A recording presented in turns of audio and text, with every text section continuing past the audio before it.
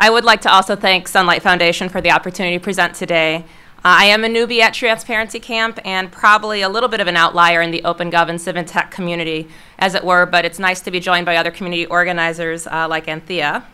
Uh, but I do have a good short, a story to share, so uh, here I am. So first, true story, is how I got my Twitter handle. Uh, Sunlight and LISC Chicago and it seems Mapbox have at least one thing in common, which is gratitude for the Knight Foundation.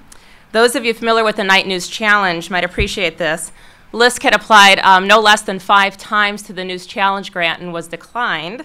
Um, but I, I, kept going, and uh, uh, on the OpenGov Challenge grant in 2013, we tried again, and one day in early June, I got a call from John Bracken. And he says, So you should save the state and you'll need to come out to MIT. Oh, but you can't say anything till it's announced. And I'm like, What's announced, John? And he says, Your award for the challenge grant. And I laugh at him because I didn't believe him. And so I said something really funny at the time um, as a semi Luddite, which was, If I really get the grant, John, I will start tweeting. And it will be my first tweet. So, well, we got the grant, and it was my first tweet, and I've been a happy tweeter ever since. So, the Knight grant is a big reason why I have an, a good OpenGov story to share today.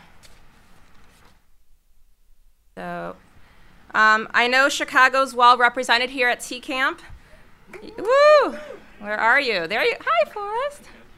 Um, Chicago has a great skyline and a great civic tech community. The city has made great strides in releasing government data and fostering a tech startup community and creating meetups for geeks to drink and hack together. Uh, some go as far as to try to rebrand Chicago from the city of big shoulders to the city of big data. But for me, Chicago remains a city of neighborhoods. LISC's business is neighborhoods. Uh, we are the Local Initiative Support Corporation, uh, but we're a national uh, community development nonprofit with a hyper-local focus. Our Chicago office has been supporting community development in the city for 35 years. This is Chicago 2. This is a picture of one neighborhood LISC has been working with for over a decade. Englewood is on the south side of Chicago, and while it's less than 10 miles away from downtown, it can feel like it's a world away. So why is a community development organization like LISC engaged in civic tech? Because OpenGov and questions about how to make government more responsive to citizens is fundamentally about power. Before OpenGov, there was community organizing and FOIA. And as any trained organizer will tell you, power has traditionally been defined is organized people plus organized money. But in the age of big data, that equation for me now includes organized information. And that then begs the question, how do communities that, and citizens with the least amount of power access information? And that leads you to, sorry, the internet.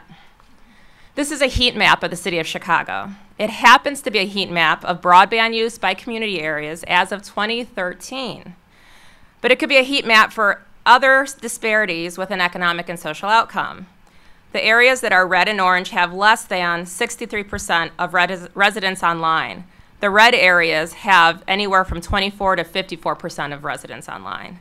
That means the majority of the folks are not on the internet, are not accessing information. These communities tend to be low income, predominantly African American and Latino. So now you might ask, so what? In time, everyone will get online, the digital divide is over, and black folks and Latino are using mobile now anyway, so what's the problem? I'll get back to that in, a, in, in that question in a second. But first, I want to talk a little bit about community development and translate that. Community development is about the deep relationship between people and place. Community development is fundamentally human-centered design. It centers on the idea that residents should have a powerful voice in the planning and physical development of their neighborhoods.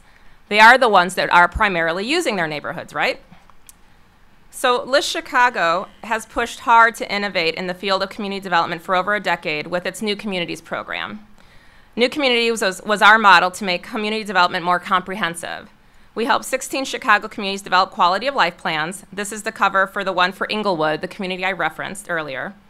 We worked with a community-based nonprofit, Teamwork Englewood, a new group we supported to organize residents. Over 600 residents participated in the plan to develop a vision for the community. Then we invested in implementing the plan. It had a number of strategies related to urban ag, new retail development, safety, and health, but it did not mention tech. Let's lots of money, including a major grant from the MacArthur Foundation, to help us build the capacity of groups to engage, plan, act, and communicate as part of this demonstration, and many projects in the plan have come to life. I believe storytelling and journalistic communications are part of community development. In 2003, when we launched the program, we did a baseline assessment, and half of our groups did not have a website, had little communication capacity, and therefore had little power to organize information about their community or the story of change. If you were to Google Englewood, you are most likely to see stories about someone getting shot back then. Who would invest in a community based on that? I knew nothing of technology, but we met Paul Baker and Webitects and worked with them to develop a grassroots website platform that allowed us to quickly get community groups a robust, user friendly website. And as it shared a platform, we could support a community of learning around this. This is Teamwork Englewood's website. It's still vibrant today. And I didn't realize it then, but this was the first step for LISC Chicago into the power of technology and organized information to advance community storytelling and development. The next step was pure opportunity. In 2008, LISC was asked by the City of Chicago to lead a demonstration on how to close the digital divide. Remember that language? At the time, I thought we were getting ourselves into something crazy um, and in no way aligned with our community development mission. Neighborhoods were not demanding more internet. They were in the midst of a foreclosure crisis and the worsening financial crisis. But we did our old magic, asked groups who were interested, identified five new community lead agencies to organize the effort with their partners, raise resources to have them plan not around technology, but how technology could improve their quality of life in their neighborhoods. The results was a Smart Communities Master Plan and the serendipity of the federal stimulus dollars to support broadband adoption. There's the little federal stimulus logo in the background, if you can see that. We got $7 million and managed to advance a comprehensive community driven campaign to change mindsets and skill sets and increase internet use for productive purposes, and it worked. In fact, today in DC, the evaluation documenting the community level change and broadband use is being announced at a separate conference. And again with Webitects, as part of the Smart Communities campaign, we increased the information flows with Web 2.0 neighborhood news portals like this one and trained community residents to become content contributors, and then the best part happened. And here I have to credit Demond Drummer, the tech organizer who we support at Teamwork Englewood, who took that increased skill set from Smart Communities and built Englewood Codes, a program to teach young kids to code. LISC helped it to be part of a citywide Kickstarter campaign, and it exceeded its crowdfunding goal. And the community tech work grew deeper and, uh, and was being driven by the community. And other grassroots community development efforts began growing along with the tech work led by Demond and his other partners in Englewood. So Englewood still has challenges. Tech alone does not make them go away. But now, literally, when you do a Google News search, you will get as many good news stories about the work of local leaders as you will about, yes, the most recent, recent tragic shooting. And in my line of business, this is progress, and you take it when it comes. So when the city of Chicago announced a new program to sell city-owned lots for a dollar in Englewood, the community and leaders and partners and residents had the capacity to act. They had power. LISC could organize money from Knight and Boeing and could fuel Demond's idea to create a website, largelots.org, in partnership with the city's data. A civic tech company, DataMade, worked with Demond to create the site, and local partners like groups called RAGE, Imagine Englewood If, and the Greater Englewood CDC helped to do the resident outreach about the large lots opportunity. Uh, that's a picture of Damon, just for those of you who don't know him yet. Uh, within the days, within days, the site was up. The data on city-owned lots was publicly and in a user-friendly way available. LISC pushed it out to the news media, and more than 500 applications, still paper, mind you, uh, came into the city. They expected 100. They were overwhelmed by the applications and the phone calls. Englewood leadership saw the issue, had access to organized money and information to help get the site built. Englewood residents had the skills and could use the website because of the recent Smart Communities campaign. And even if they don't trust their government in general, they trusted their local organizations and leaders who encouraged them to apply. We are now working with the city to make the application go online as the program rolls out to another community. No more paper. And the city shared with me a couple other lessons from this, which most of you in the data community probably know. Um, but open data doesn't mean it's good data. They'll find out if the city really owns all the lots as they begin to go through the land transfer process. Second, they do think the site made the data more transparent, and therefore the city owned land has a better chance of making it to community residents than, well, let's just say, not go to community residents through a less transparent process. So, what does this have to teach us about transparency?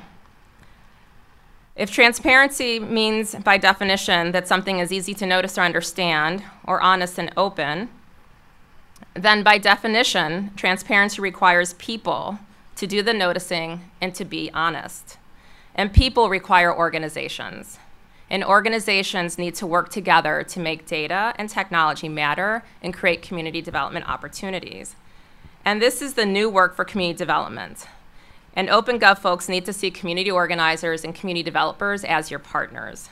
We know that when local resident leaders tuned into technology and the power of data are paying attention to city policy and in a network of partners with resources to build the tools to use the data, you can begin to see change. You can begin to see residents access information, connect with their government, own their part of their own their community, maybe even begin to build upon those small victories and transactions into greater trust, engagement, and power. There is not an app for this. It's a process, a community development process. So community development takes time.